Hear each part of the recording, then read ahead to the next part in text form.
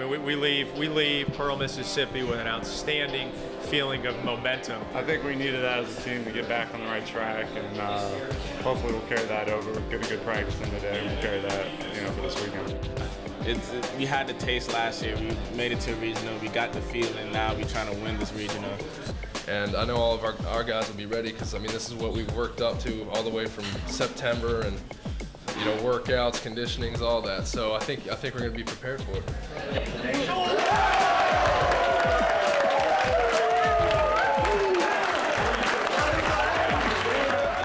Being back in Miami just to have all the fans come out, uh, UCF fans, Miami fans, don't know who cared, who it is. It's just the fact that there's going to be a lot of people there just to support us to win this game. The whole stands is full with black and gold. Like last time we went there, it's kind of uh, all orange. Those Miami people get a little rowdy. So if we can bring our fans down, that would be great. So, I mean, all the teams that go, they're going to be determined. They're all going to be confident. All four teams in the Miami Regional are outstanding. And we just got to go in there and play our best baseball.